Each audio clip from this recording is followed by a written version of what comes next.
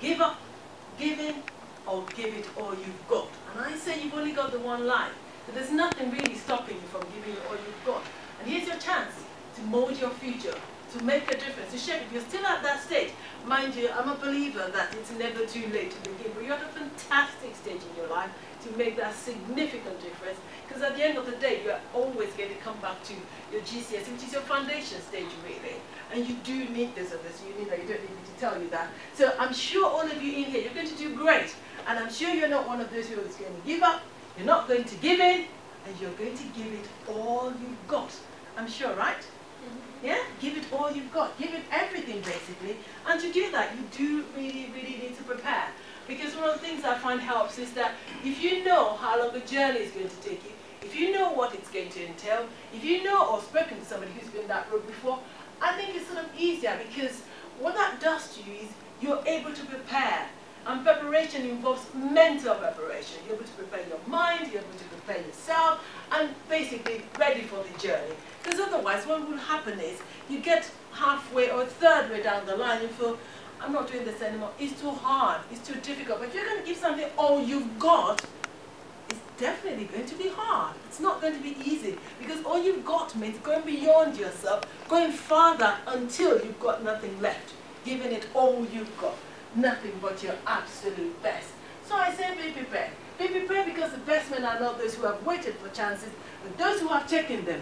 Besiege the chance, conquer the chance, and make the chance to serve them. I love this. Have you ever found or discovered that people who work hard, they just get lucky and lucky all the time? They're the lucky ones. You're the lucky ones. So if you work, you're prepared, you planned, and you give it everything you've got, you're lucky all the time. You're one of the best. You're just lucky. You just keep, keep being lucky all the time. So prepare. What does this mean? I say starting point is you need to have a revision timetable. If you don't have one already, I'm sure you do, but if you don't, it's crucial because part of your preparation and planning is to have that timetable in place that you can work towards. Because at the end of the day, if you don't split your time in a way that you can manage it and you know exactly what you're doing per time, you're planning to fail, basically. And I mean, they said preparation is a, is a key to success. But also, if you don't plan to fail, if, if, if you don't uh, uh, plan ahead, uh, uh then what you're asking for really is to stumble. I like one of the things that uh, I think my daughter would, would, would attest to, or she probably says that, uh, if you start your day and you haven't quite prepared for it, what happens is you're just going to stumble along, right? You will stumble along and make it up as you go along. And what then happens is you get to the end of the day, you haven't achieved much.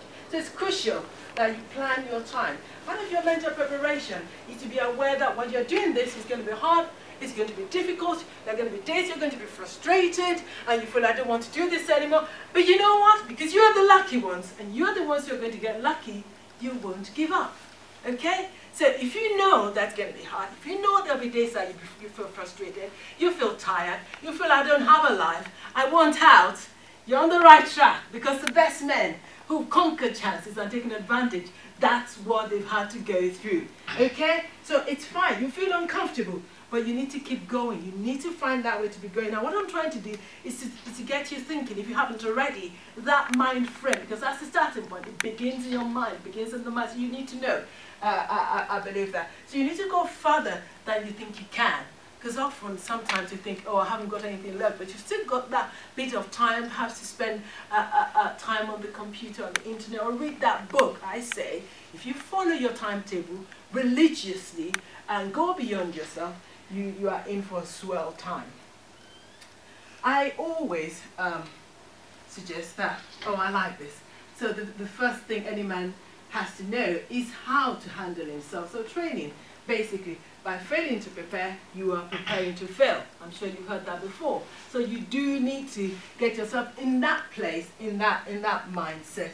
Um, all our dreams can come true if, you, if we have the courage to pursue them all of them can come true. true. And I love this. If plan A doesn't work, the alphabet has 25 more letters in them.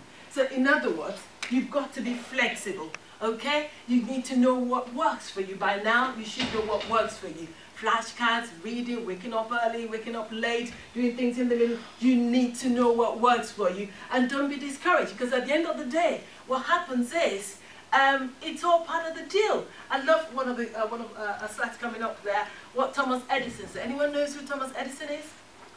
Thomas Edison. Who is he? Light bulb. Yeah, that Light bulb. Okay, fantastic. He says the quote from I have uh, someone made of him. I haven't failed before I discovered the the light bulb. I just discovered there are ten thousand ways not to do it. Okay, I just discovered. It took me a while.